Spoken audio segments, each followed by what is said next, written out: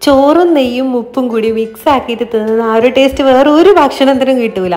ചെറുപ്പത്തിലെല്ലാം vacation ടൈമിൽ ഞാൻ നാട്ടിൽ വന്ന് നിൽക്കുമ്പോൾ എന്റെ അമ്മമ്മ എനിക്കും എന്റെ ഏച്ചിക്കും അനിയത്തിക്കും കൂടി ഇങ്ങനെ ആക്കി തരലുണ്ട്. എനിക്ക് ഭയങ്കര ഇഷ്ടമാണ് അപ്പം ഞാൻ ഇപ്പോഴും ഇടയ്ക്ക് അങ്ങനെ കഴിക്കലുണ്ട്.